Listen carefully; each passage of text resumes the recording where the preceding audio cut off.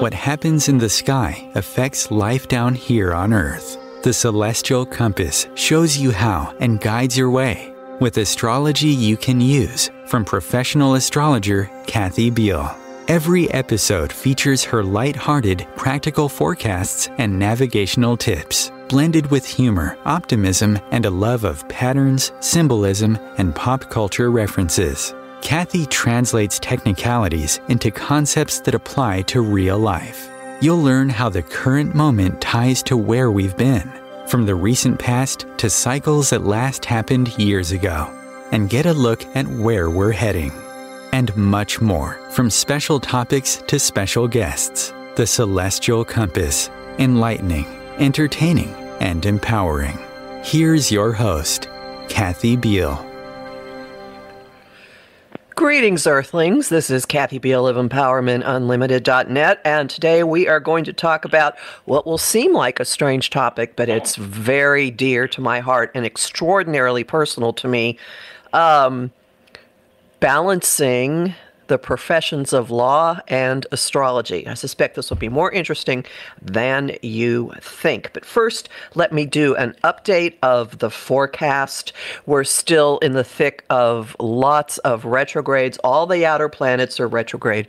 Mercury is retrograde until early October, and then next month it starts loosening up but for right now, it's still a time of tripping on things, going back over old business, learning uh, things that maybe we didn't understand before, lots of revelations, getting very or having opportunities to go much, much deeper into all kinds of situations, particularly strong next week when um, Venus and then Mercury both make contacts with Pluto and facilitate extremely important realizations, revelations, uh, and candid conversations. Before then, we have the equinox on the 22nd when the sun moves into Libra, starting the spring in the north. Spring in the southern hemisphere, fall in the northern hemisphere, and um, Soon after that, on the 25th, we have the Libra new moon. Libra is relationship central, and this one has a lot of energy behind it because Jupiter, the guy that says, please give me more, is pumping up the moon. And um, right afterwards, uh, Venus, which rules the moon, moves into Libra, and we all at least start paying lip service to the notion of getting along together. Whether we actually manage to pull that off uh, is another question, but at least there's a, the pretense of being more civil to each other coming by the end of the month. And Libra is also the sign of law, which then leads right into our conversation today. Um, my guest is a fellow attorney astrologer, Sara R. Diamond. She's a student of astrology and other occult subjects, a practicing astrologer, and a writer. She writes new and full moon essays for the online Daykeeper Journal book reviews for facingnorth.net website and for astrological publications. And for her day job, she still works as an attorney. Uh, in the 80s and 90s, she was a political sociologist and an investigative journalist and published four books about right wing political movements in the United States. Welcome, Sara. Well, thank you. It's nice to be here. Yeah, I'm, and I, I really look forward to discussing this with you because I don't have the background in investigative journalism that you do, but I also have a background in journalism. So there are some strange commonalities in mm-hmm. our path, although the timings were different in our lives. Um, we were talking earlier, and I, I, was mentioning I, I have been aware since the mid 80s of maybe a half dozen astrologers who are also attorneys. I know of two who practice magical elections, which is mm-hmm. really traditional and very rule oriented. I've known two who are litigators, and you're the only person that I've run into also has an office practice like I do, which means uh, we help people without actually filing lawsuits and going to court. Um, you have been a spiritual quester for most of your life. Mm-hmm. Can you tell us some about that? Okay. Um, well, I would say that that has pretty much been my my life focus. Um, I was raised in um, a pretty religious home with a Jewish religion, which gave me a kind of container for my what I call my innate spirituality. And then um, 50 years ago, when I was 14, I started studying and practicing yoga and meditation, and which is amazing to me that I started so young. Um, I was very fortunate. And then that uh, shifted when I was 18. I got involved with Sufism, and that was my primary practice for a long time. And then I was actually off the quote off the path for actually 10 years while I was completely focused on political work. Um, went back to the Sufis in the early 90s, and then later shifted to Buddhism. It's, every one of these chapters is a long story in itself. Um, I was all along the way a client of astrologers, actually. So I, I knew hmm. a little bit about astrology, but about eight years ago is when I started ardently studying astrology, and that was about the same time that my spiritual practice kind of shifted to shamanism. And then more recently, I'm I'm studying witchcraft. So I'm I, you know I'm very eclectic, I guess you could say. I've got the moon in Sagittarius. Uh huh. Big surprise. Other, other signatures, and I, you know, I kind, it's kind of all of the above. I, I haven't rejected any of my previous paths. It's more like a matter of integration. That makes sense. Um, and so we'll come back to this in a second. But as I as I mentioned in your in your brief intro, you've pursued a couple of logic driven careers. It mm-hmm. seemed to me. Can you tell us some about the investigative journalism? Right. Well, you know, every one thing has always led to another. So, kind of like out of the the fact that I was practicing Sufism with a teacher whose sister had been murdered during the Holocaust, and I also have that in kind of my own background, having been born in Germany. I was the first Jew born in a particular part of Germany after World War II. And then also majoring in Spanish. In college, I became very active in Latin American politics, especially Central America, in the late 70s, early 80s. And I had also been, been watching Christian right television, kind of like as a pastime so by the early 80s, these things converged, and I became a journalist largely by writing about the U.S. Christian right in Central America. And that project completely snowballed, and then I ended up going to graduate school in sociology at UC Berkeley in the mid 80s. So I was a journalist and a sociologist. So I have Venus and Gemini in the 10th house. Oh, okay. So, so I've got like a lot of balls juggling in the air, like all the time, which makes me happy. So I became a journalist really out of my political activism, but then I became a scholar in order to actually ground the journalism. So while I was in graduate school, I was also a journalist. And then I and ended were, up writing books about the subject. Right. Can you tell us some about the books? Well, the first one came out in 1989. I was, you know, I was like this voice in the wilderness, like kind of trying to warn people about the rise of the Christian right and this was a like about a 15 it was a 15 year project that I, I was doing and it was utterly futile in my view because people you know outside of republican circles were not really open to hearing about it so my first book uh, spiritual warfare the politics of the christian right was published in 1989 and like received no major book reviews in the united states okay uh, I mean, it's still out there. I still get letters and you know emails from people about it. Um, the second book really was based on my dissertation for um, for grad school, and that is a 50-year history of right-wing political movements from 1945 to 1995. So that was that's like an exhaustive study. And then I wrote two books after that, and, and was in the process of wanting to write a book about longtime spiritual practitioners when my personal life kind of crashed with the you know end of my long-term relationship and I was I was at that point teaching sociology part-time here in California and I was writing. I was not able to make a living. So what did I do? I went to law school at 42 and that's how I became a lawyer because I needed to make a living. Which is exactly why I studied law. I didn't intend. I, like you, I was not someone who went through high school like I'm going to be a lawyer, mm-hmm. and then college like I'm going to be a lawyer. It's like nope, nope. Need to find a way to support myself. Oh boy, I have a brain. Let's do this. Exactly. Uh, yeah. Yeah. Yeah. I did it later than you. I did, but it was like I'm good at school. I know I can do school. And actually, you know, in the midst of grief over all of that was going on, having to spend 60 hours a week, you know, in law, the first year of law school, was was kind of like a good thing, you know, like gave me a focus. So once cer- I got, but, I, but when I got out of law school, I was 45 years old, so I wasn't really going to be an employee in a law firm, and so I started my own estate planning practice, and that's what I've done for the last 18 years. And for so for those those of you listening at home, estate planning is wills and trusts. Mm, so helping people plan what what will happen with their property after they pass on. Correct. Yeah. Mm-hmm. I actually do a lot of that. And I was speaking this weekend with an attorney who is a medium who also has an estate planning practice. And she says that she practices dead law. okay. yeah, I can't actually say that to clients. I have I have a hard enough time with the fact that a lot of people will say to me, "Oh, I'm doing this in case something happens to me." Or, you know, I, I need a I need a will just in case I die and I, you know, I don't argue with people about that, but it, I do kind of like think, mm, really? I mean, maybe you think that it's not going to happen to you. You know, there's a lot of den- it's a subject that brings up a lot of denial. Let's put it that way.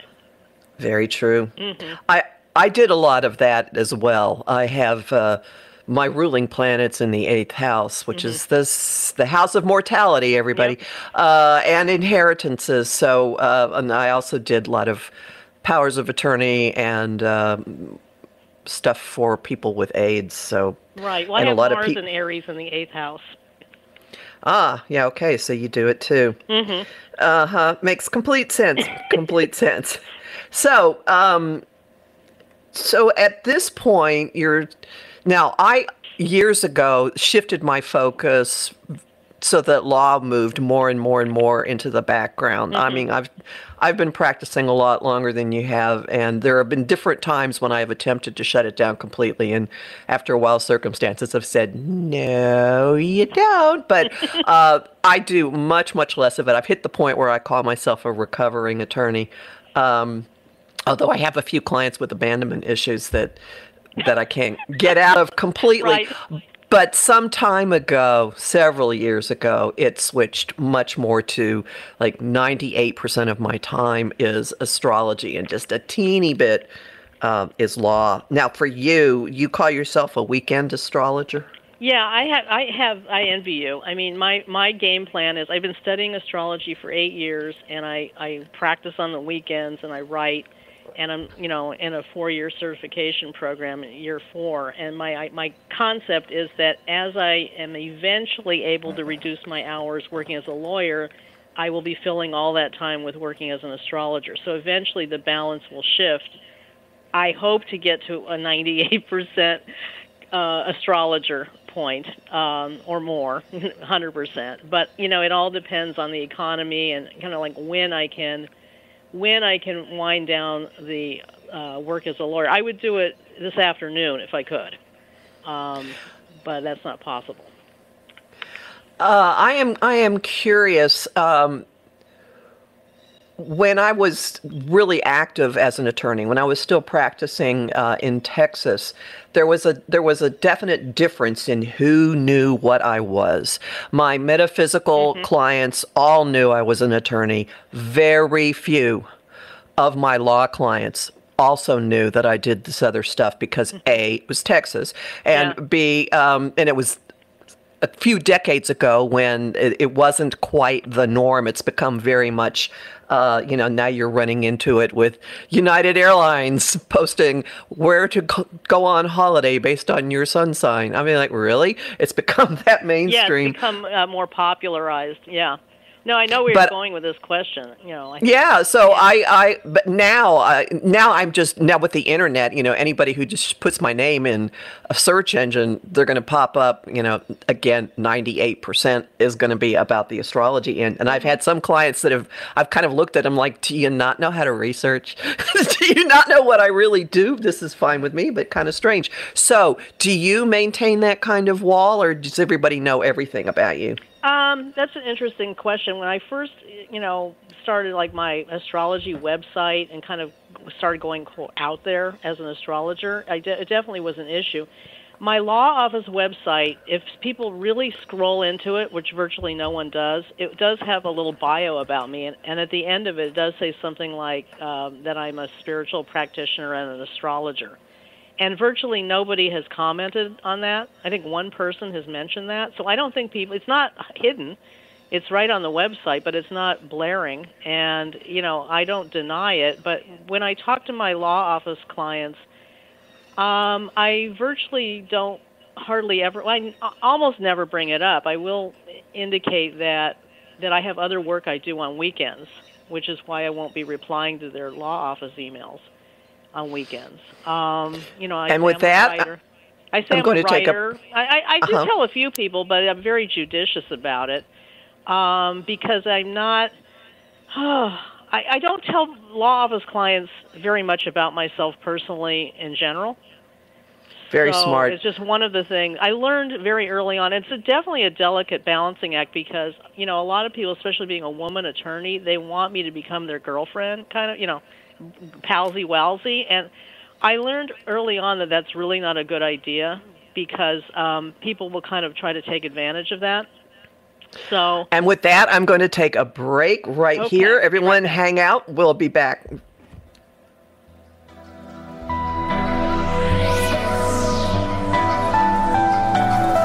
The cutting edge of conscious radio, Om Times Radio, IOM FM.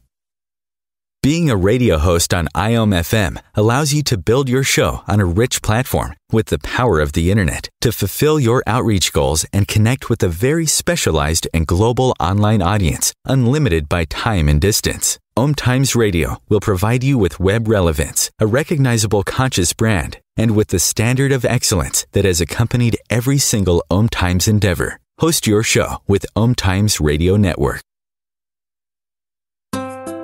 Grab a cup of tea or a glass of wine and tune in for inspired conversations with publisher Linda Joy on Tuesdays at 2 p.m. Eastern. Linda creates sacred space for leading female luminaries, empowering authors, heart centered female entrepreneurs, coaches, and healers.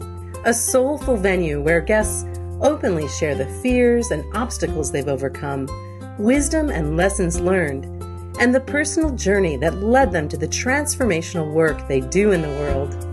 Inspired conversations to empower you on your path to authentic, soulful living.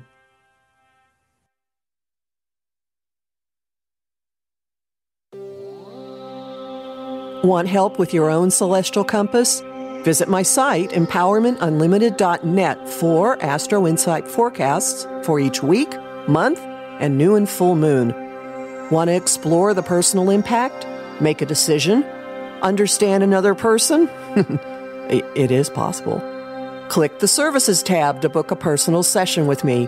That address again? empowermentunlimited.net. You came across someone struggling with hunger. How would you recognize them? Would you notice an eight year old girl who's not excited, excited for summer break because she may not be having lunch again until September? Or a war veteran who's having a hard time landing a job and getting back on his feet? I am the one in eight Americans who struggle with hunger. I am hunger in America. Hunger can be hard to recognize. Learn why at IamHungerInAmerica.org, brought to you by Feeding America and the Ad Council.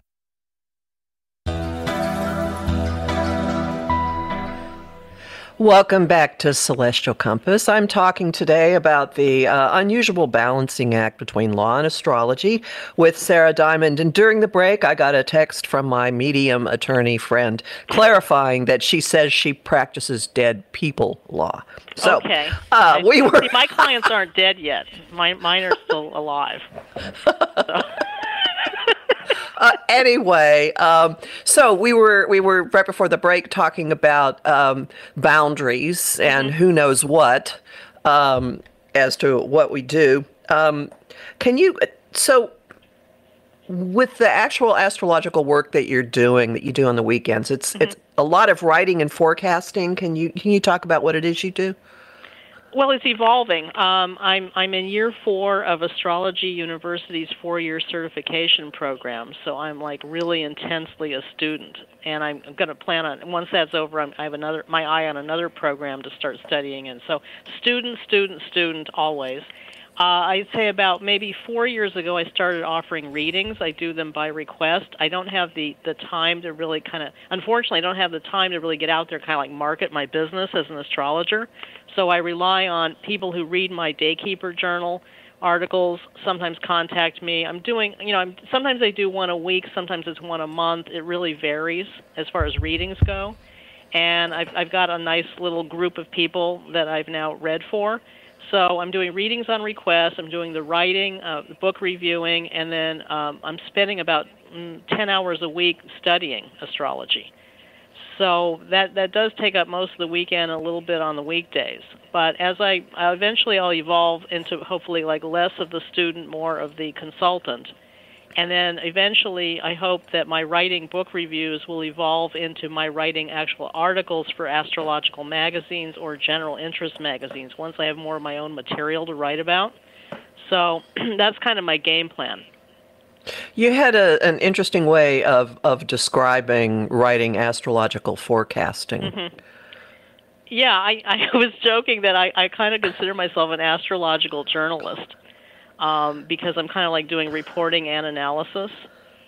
You know, which is what I used to do with politics. I would do like reporting and analysis blended together. I was never, I was never like a, you know, like a daily journalist who's just doing, you know, this is what just happened yesterday, kind of stuff. I was always an analytical journalist. You see, so hmm. with astrology, like with my my new moon and full moon essays, I'm writing. I I try to make them kind of. like They do come out kind of lyrical. They're kind of my way of being creative in a nonfiction writing piece. So I am reporting the transits and the retrogrades, but I'm also kind of giving my gloss and my my you know hopefully my metaphorical perspective on on these things.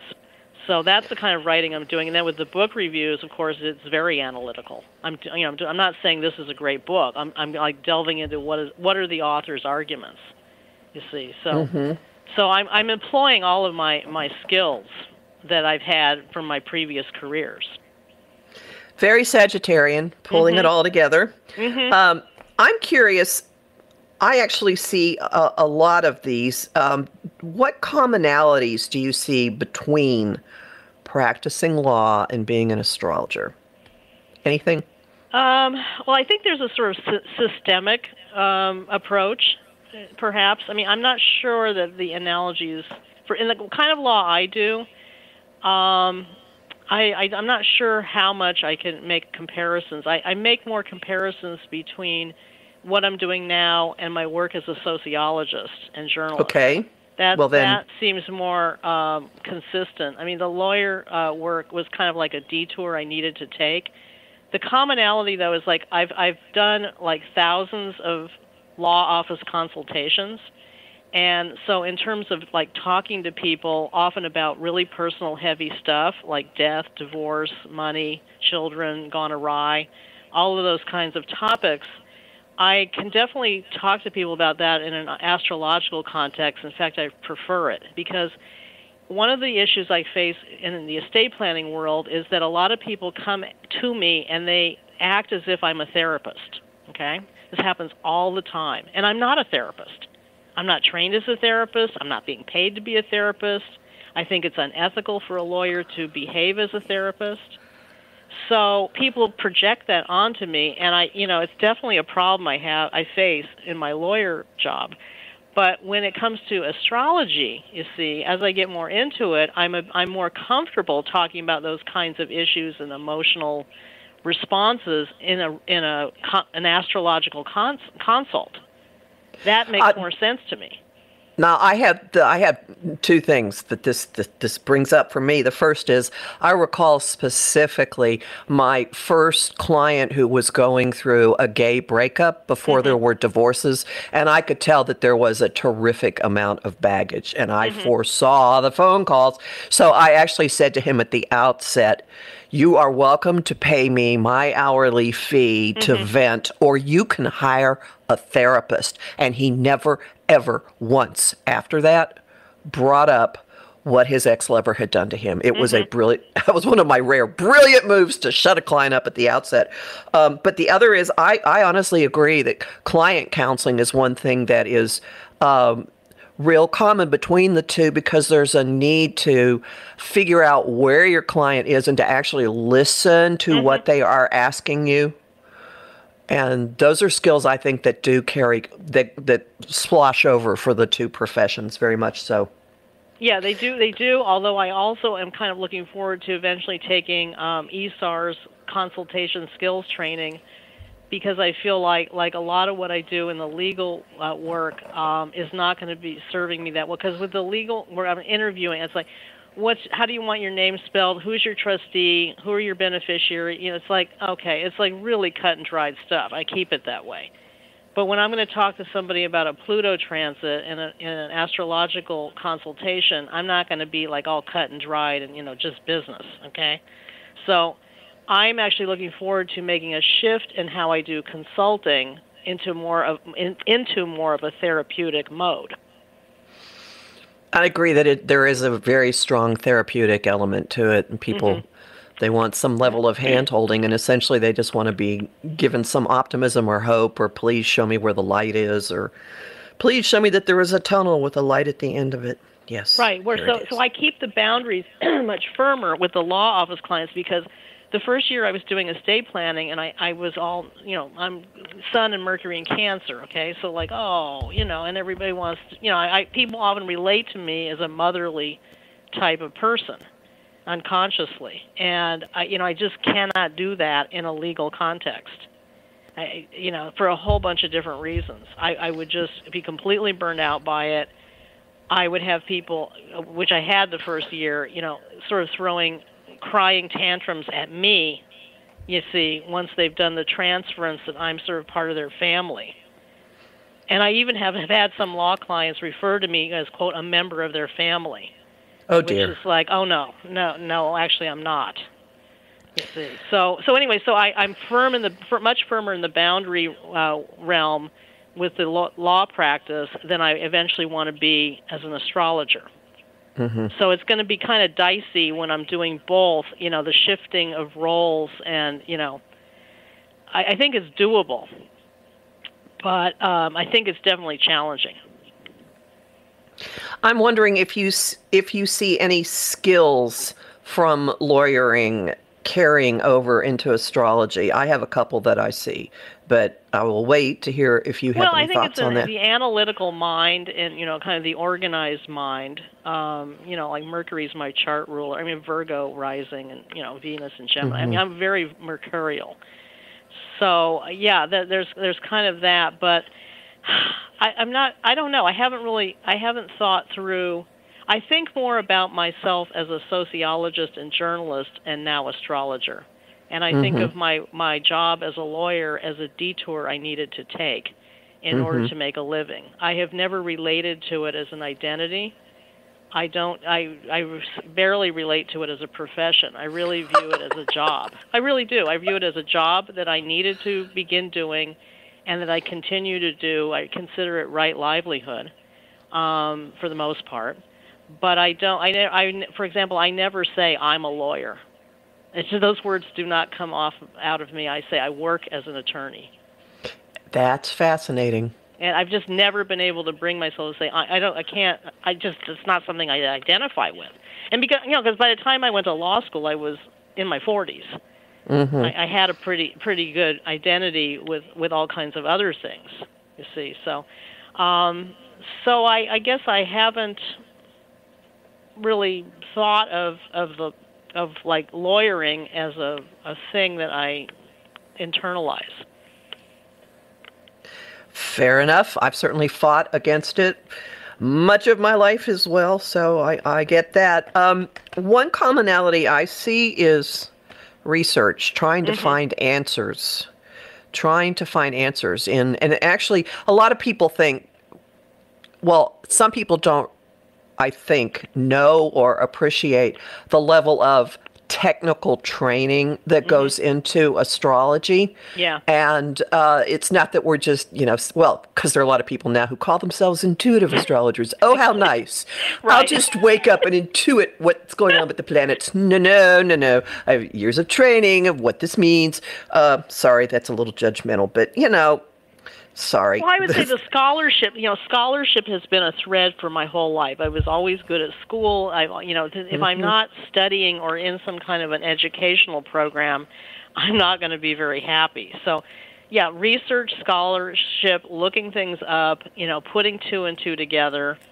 You know, all of those things have carried through my my different careers. Um, and so, yeah, I mean, you've got to be detail oriented. If you're a lawyer, you have to be really detail oriented and you must get things right. It's not optional. You could really mess somebody up if you, you know, I have a thing going today where somebody wants to insert two words into a trust that could jeopardize their son's getting government benefits in the future. Okay? Two words that I didn't put in there, but she wants to put them in there. So I've I've had to write a, a note saying that you know I, if you put if we put these two words into this document, then uh, an SSI eligibility worker might have a problem with that in the future. So I advise you not to do it. You see, so it get it can get really granular as to what you have to be accurate about. And one of the things I love about astrologers is they can get really granular. Okay, about accuracy, about precision with aspects and timing techniques. And so in that in that respect I definitely see a parallel. I've uh, a terrific one, and trying to get an answer to explain something. Um, my particular, in, in, recent years, I've had a, a, compulsion. Something will happen in the news, and I'll go, "Oh, I must understand this," and I'll just be casting charts, and, and, and pretty much always you can see what's going on. I see terrific and fascinating uh, symbolism and, and, parallelism between astrological symbolism and actual current events. And in I fact, know I've in, read some of your pieces that you post and, and listened to a few of your YouTube um, things. Oh, and, thank you. Yeah, yes, it's really good stuff. That's astrological journalism now, isn't it? Well, I suppose that's one way of looking at it. Mm-hmm. Yes, yes. Oh, I was actually I was obsessed a couple of weeks ago. I was a huge Better Call Saul fan. Watched every single episode. There are only two shows about lawyers of which I have watched every single episode. Better Call Saul and The Good Fight. It says a lot about me, I'm sure. And so at the very end of Better Call Saul, uh, I it when it was over, it kept hitting in my mind that the pivotal plot point at the very end of the story happened on the character's 50th birthday. And mm. something kept saying, This is important. So I actually found birth data because this show was so detailed. I found birth data for the main character. And sure enough, his the Chiron for that birth date, Chiron mm-hmm. return happens on your 50th, around mm-hmm. your 50th birthday, for those who are listening. Um, it completely explained emotional driver behind his story. And then the chart also fit his personality down to every single placement, every plot point, every placement that I found a chart. I found the birth date for his girlfriend fit her, their relationship, mm-hmm. uh, his. Uh, Chiron is on the US moon, which explained to me why this show was so wildly popular. Bottom line is, I spent three days, like seven to 10 hour days, writing this mm-hmm. massive essay, and it's up on Medium if anybody's okay. about it. But that's an example of it. Like, there's an explanation for this, uh-huh. and I will find it. And sure enough, there it was. Yeah, it's a brief, right. Essentially, yeah. yeah, and I did write briefs. I did write briefs. well, so, okay, so it may be there's also an element of like dedication to work, and not that other professions don't have that. I mean, don't get me wrong, but there is a bit a bit of obsessiveness among astrologers, don't you think? Yes, I do actually. And then they want to argue about things, and that's Yeah. very much what happens in a law review office. Like, oh Right. god. Yeah, I remember- they're similar. Mhm. I, I walked in one day. This will this will say when I went to law school, and people were actually arguing about whether the ending of um, Mr. Goodbar, whether the main, whether the Diane Keaton's character was murdered or not, and people were actually making arguments for how she lived through that. And I went, uh, th- th- I have more to do in life than this. I'm going to walk out of here. We're not going to be part of this. Lawyers will split any detail, like his hair. I'm going to split it. Well, guess what? Um, astrologers do it too. You post something online uh, that has any data with it, and someone is going to take issue with the time you Oh yeah, used, they'll or, take you apart. Yeah. or what kind of. Oh, I use this house system. Why don't you try this? Like, really? Mm-hmm.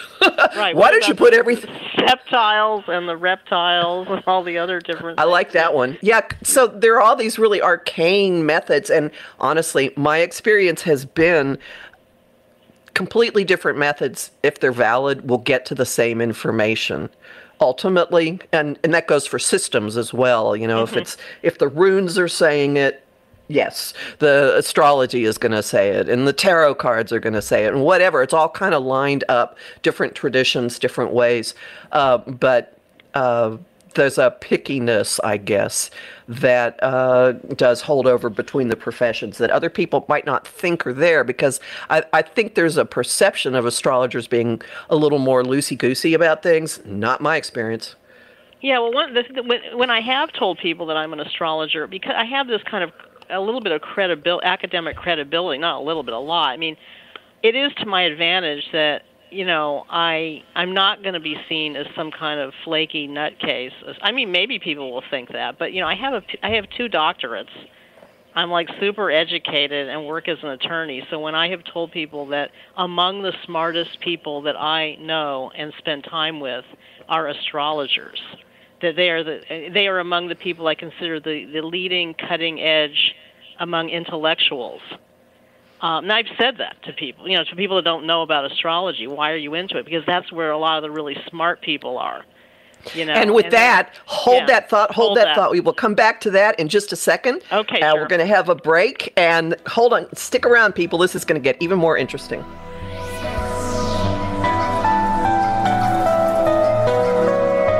Bringing a more conscious lifestyle to your world.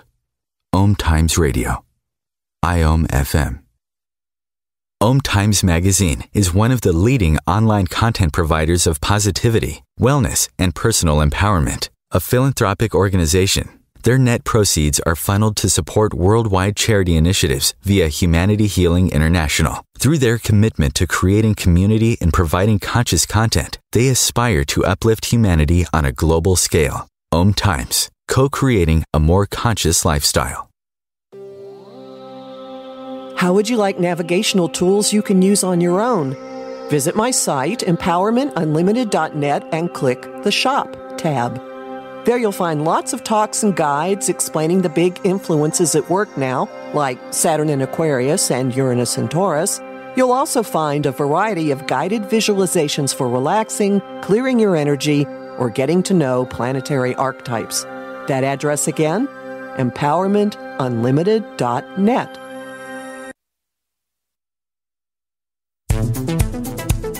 My name is Victor Fuhrman.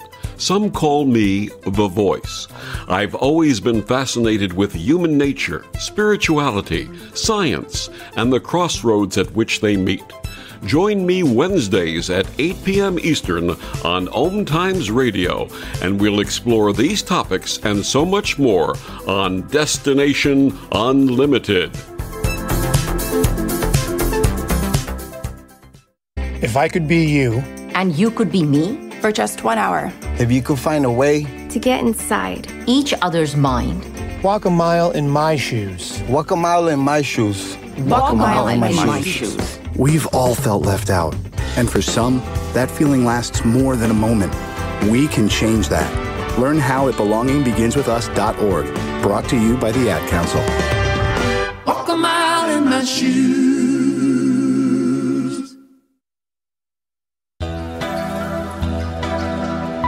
Welcome back to Celestial Compass. I am talking with Sara Diamond, who is a fellow attorney astrologer. And just before the break, you were making the marvelous statement about astrologers being among the most what intellectual, intelligent, what wonderful words were you using for us? Thought leaders. I don't know. Yeah. Cutting edge intellectuals. I love it. Keep going. Well, I had this experience when I went to my my first NORWAC conference, Northwest uh, Astrology Conference in 2016, and there were like I don't know, a couple, several hundred people there, and I'm in this room um, with you know people like Robert Hand and Rick Levine, and I, I can't remember, you know, um, Lynn Bell, and you know, and I'm thinking, oh my God, I'm like in this room with all these like really brilliant people. This is fantastic. I hadn't, I hadn't been in a room with so much high power, intellectual energy since I was an academic, since grad school and so I was telling people, you know, when I came back from this event, what a thrill this was, you know, to be with all these really super smart, interesting people. And that's still how I feel about astrologers, for the most part. I mean, obviously, it's like a bell curve; it's not everybody, but you know. So that's that's my take on who the who the astrological community is. Is that I wouldn't say that they're smarter than everybody in the world, but you know, there's just a, a lot of really high power intellectual energy in the astrological community, and I really, you know, get I, I it really makes me feel great. terrifically terrifically active minds who are act who are looking at things and looking at things from different perspectives and trying to explain how the world works explain reality explain people. Um, i agree completely. It is wonderful. And and you were saying before the break that you have two doctorates. They are in your doctorates are in. Sociology, yeah, sociology, and then a legal de- law degree.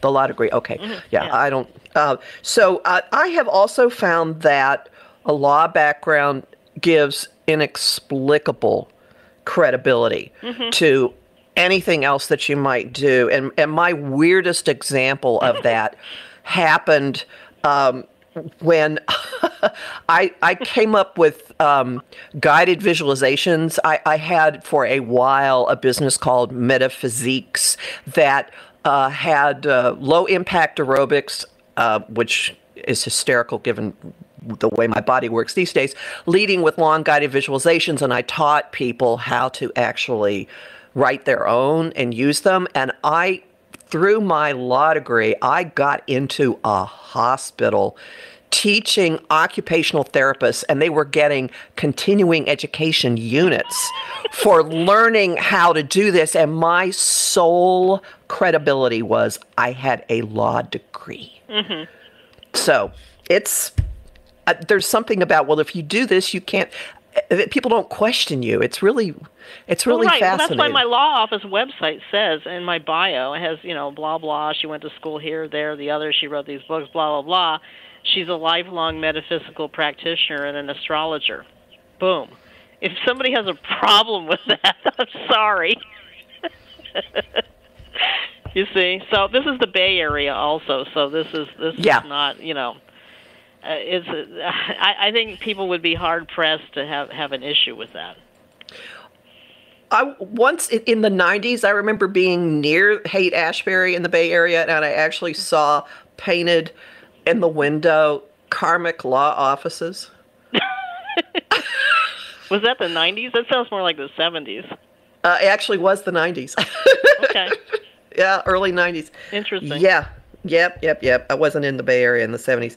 Um, well, uh, so anything, uh, any anything else about compare, contrast, things that are the same, things that are different? Um, I'm not sure. And I, you know, the, the other thought that occurs to me is that it would be interesting to also ask people in certain other professions. I mean, like for example, medical doctors are also very detail oriented, and they sure better be. Um, you know, and it's a different mindset because it's scientists. Science is always a lot. You know, it's hypotheses and testing. There is a, there is an example there.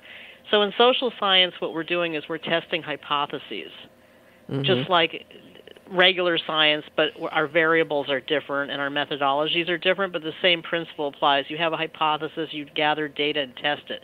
That's what astrologers do also. Yeah, they say charts there's a plot the point here. Yeah, Mhm. charts, you know, it's like we think that, you know, if somebody's how did we even get any of our our significations about what is a chiron return? What does that mean? That's all testing of data. Right? Mhm. I mean, they, we've only been testing on Chiron for a few decades, but all uh, you know, the better example is the traditional planets. You know, all of all of the traditional ideas about what what is this and what does it mean has all been about testing hypotheses for millennia, right? I mean, that's that's Yep. what astrology has done. So in that then- respect, it's like it's like social science. And then collecting the data and making rules out of it, which to me is very much like the common law. Yeah, uh-huh. exactly. Well, the common law is also testing hypotheses. What makes sense? What makes fairness? I mean, that's it's a, it's the standard is different because the standard may be more like like not truth per se, but more like equity or fairness or justice, right? That's you know what what creates common law. But it still involves testing a lot of, of scenarios and fact patterns to see, well, you know, when what is negligence? Well, it's when somebody doesn't meet the standard of care, that you know, all of those elements of, of any kind of a, an action involve And- having a lot of cases to come up with, okay, now we say that if you do this, you have committed a negligent act. That was arrived at by collecting data and testing hypotheses.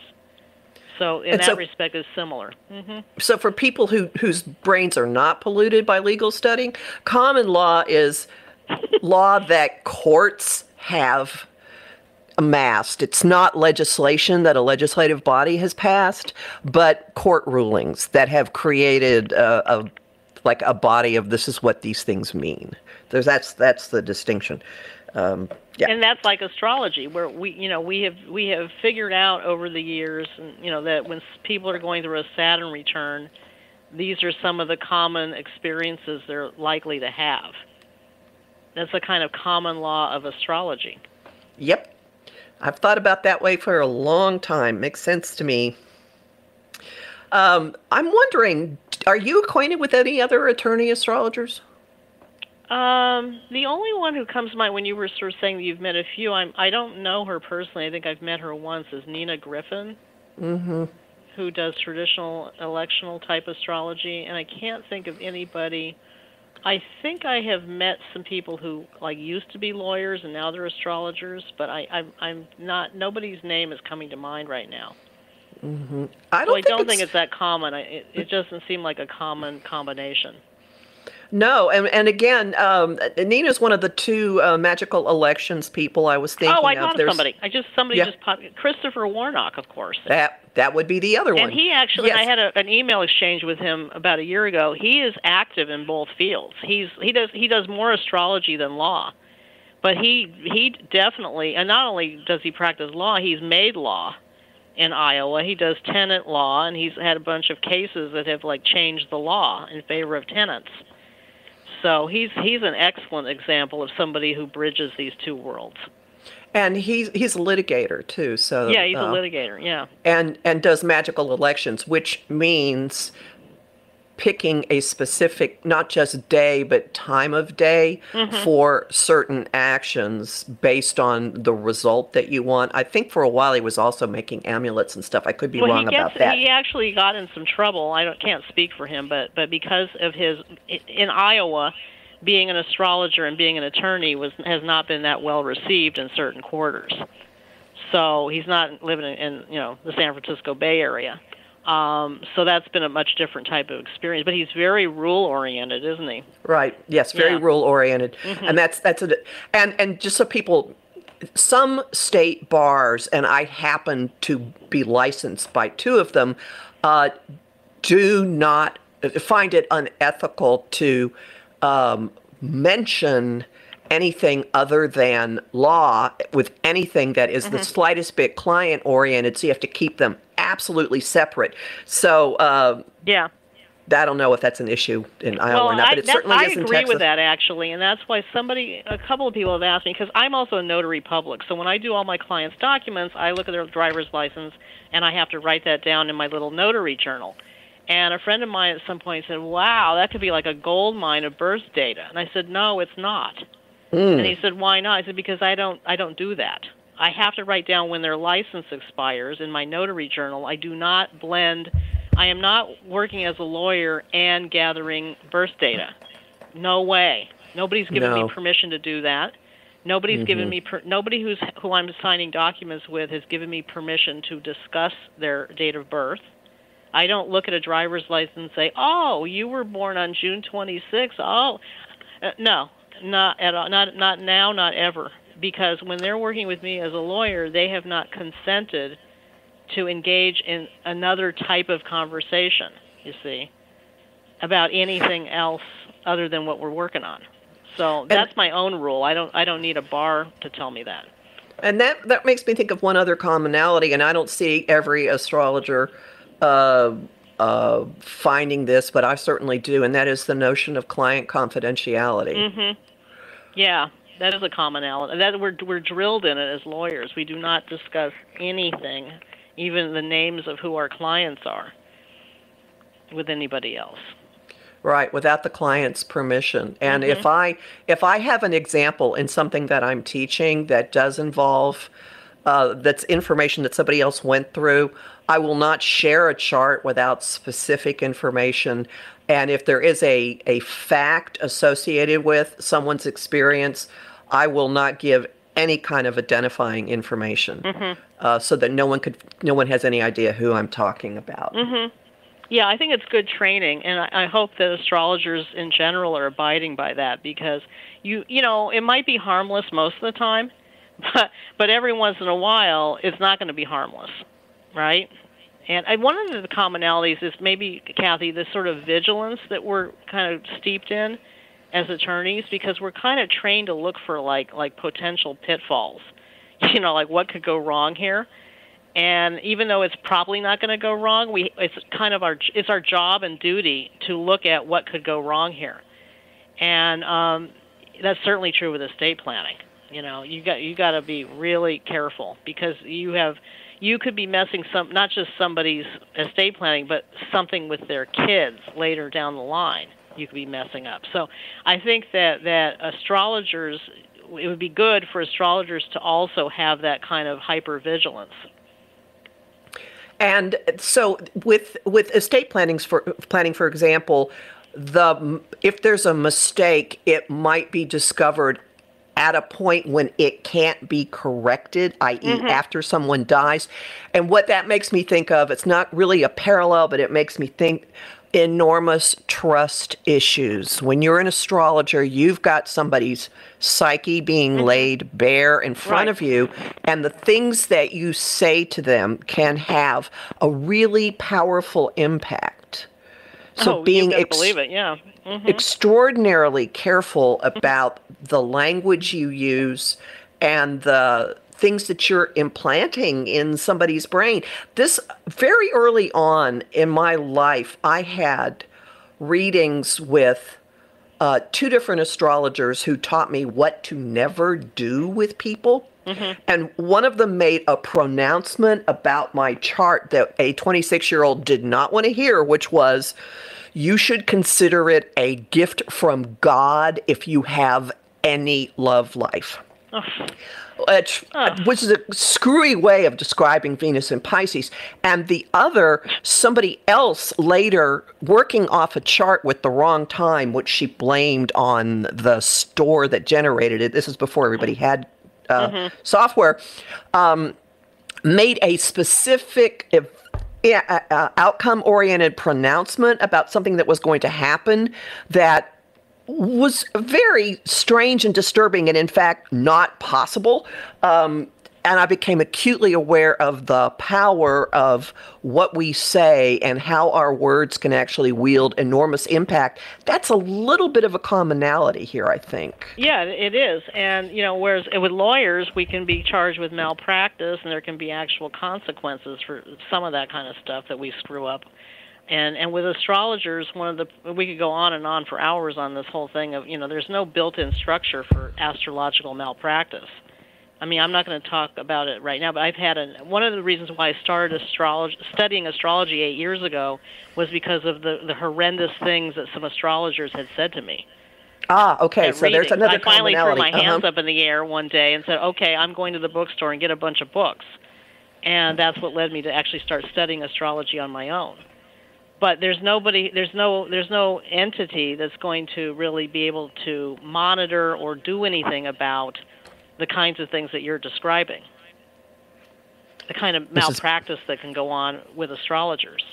This has been an on again, off again topic of discussion in a variety of organizations Mhm, for yeah. a long, long, long, long time.